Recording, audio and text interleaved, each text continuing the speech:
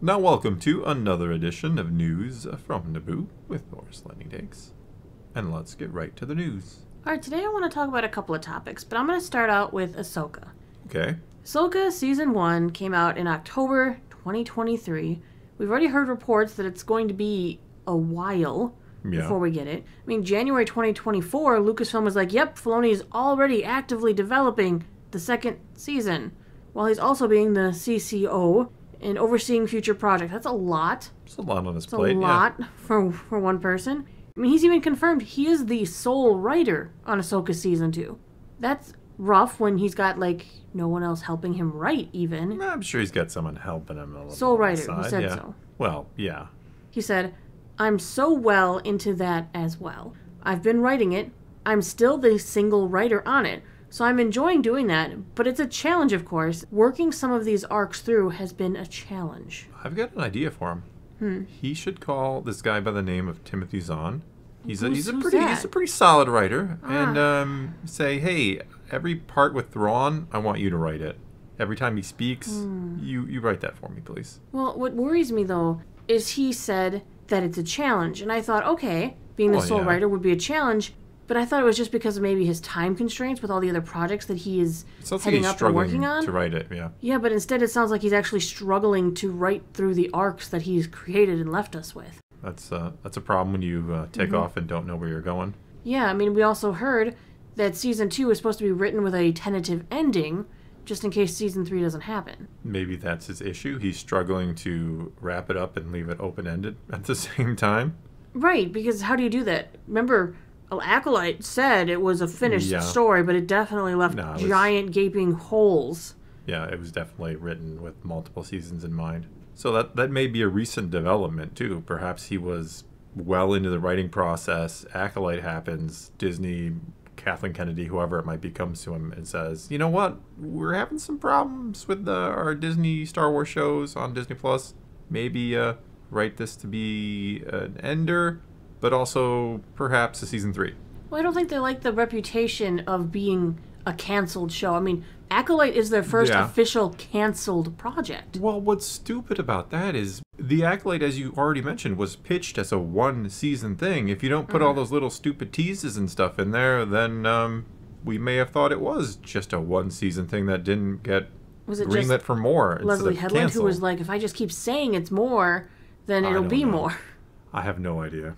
Okay, so he also, Dave Filoni, I'm speaking of, in this interview, because they, of course, it was like, with Skeleton Crew coming out, he's making some rounds too, because as the COO, oh, he's involved in this project as well. So during all of this, they also asked him about how the Mandalorian and Grogu is doing.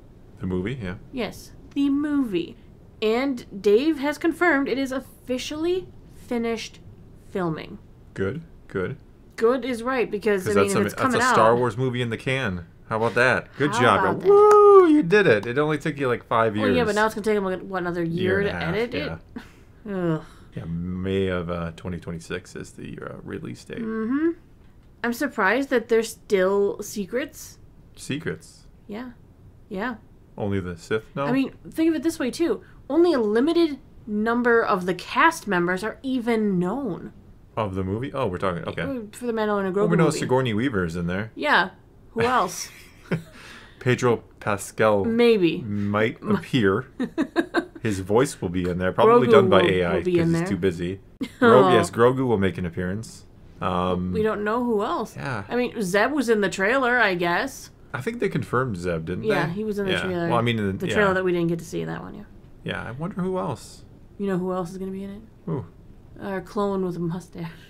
Oh, I'm talking about Uh, Giancarlo yes. Esposito. I feel like he's back. I feel like they bring Thrawn in. I feel like this movie Really, needs to be. A, I feel like this movie needs to be a connection piece. If they're going to be, as this trailer that we did see a leaked version of showed, if there's going to be fighting against remnants of the Empire, doesn't it make sense that maybe Thrawn is involved? so you think this is Maybe. post Ahsoka after Thrawn has come back and kind of I feel like the Mandoverse has been in order so far. It has, even though it really has been kind of complicated at times with the, the exact timeline and when things are Mm-hmm. Taking place and how long maybe the New on. Republic, maybe Carson Teva finally seek out. We need more help. We let's recruit the Mandalorian. You know, get him involved because we need help.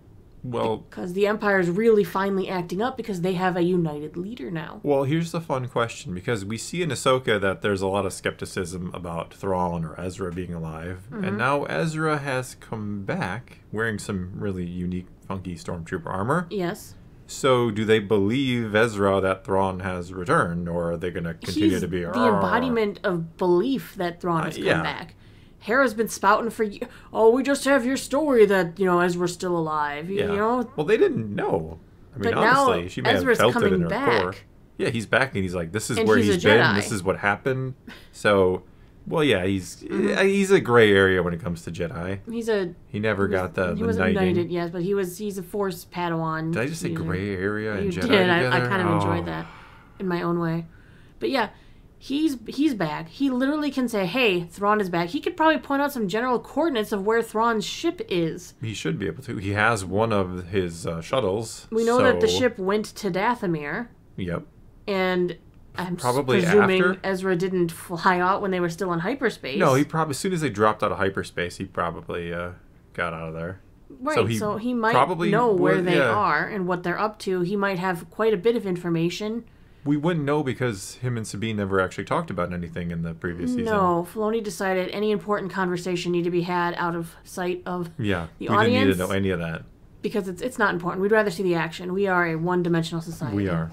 Well, we also have to consider how much time will they have had pass in universe before the Mandalorian and Grogu movie takes place. I don't think much, right? I don't think a lot, but depending on what they decide to do, I mean, even if it's a year or two years, could, be, yeah. Grogu's training in in the uh, Mandalorian ways, or even his strength in the Force, become stronger? Maybe. I mean, there are a lot of people who think he's going to be like the ultimate warrior, and I don't mean the WWE Mm. wrestler, but you know, Mandalorian training eventually gets Jedi training, and he's just going to be a little badass who can do it all. And I could see that happening, honestly. People Yeah. love the character.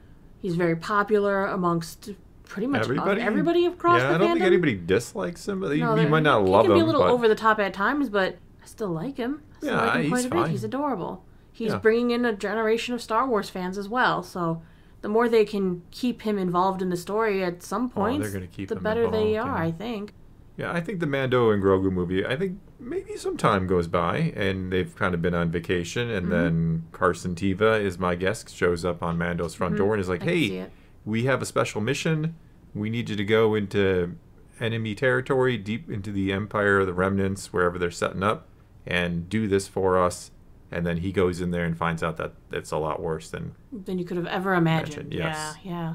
I kind of like that idea for the plot because it can lead into a bigger scenario, a bigger war, while keeping this movie more of a singular type action adventure Yeah. for Mando because you and don't- Grogu. Yeah, you don't need to have seen everything else to understand. Like, oh, okay, we're we're after the Return of the Jedi, Mm-hmm. and we're sending in a, a special Mando or for a special mission. And oh my goodness, the Empire isn't as uh, weak as we thought they were.